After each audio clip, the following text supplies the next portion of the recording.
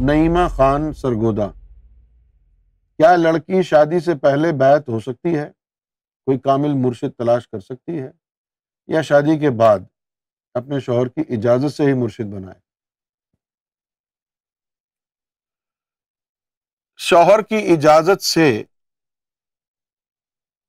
अल्लाह को पाना, ये तो गुस्ताखी है। शौहर की औकात क्या है? अगर शौहर ने मना कर दिया कि नहीं तो तू कब्र में जाके क्या कहेगी फरिश्तों को? मेरे शौहर ने इजाज़त नहीं दी। तुझे पता है, जब तू मर जाएगी तो तेरा निकाह टूट जाएगा तो तेरे शौहर को, तेरा जनाजा उठाने की इजाज़त नहीं होगी। तेरे शौहर को, जैसे ही सांस की डोरी टूटती है, निकाह टूट जाता है। अब तू गैर मोहरम हो गई। शौहर अपनी बीवी का जनाजा नहीं उठा सकता।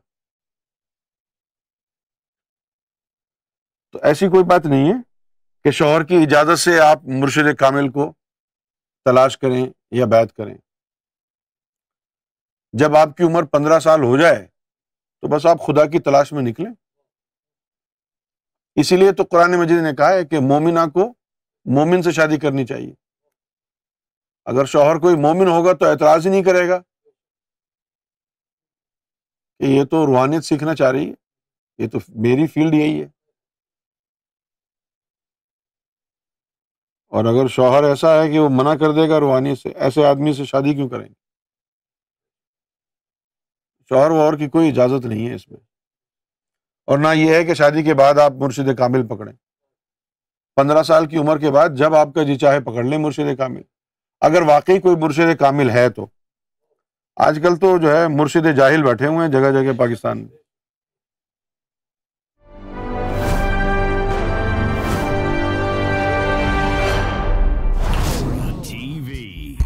bringing light, love, and peace in your life.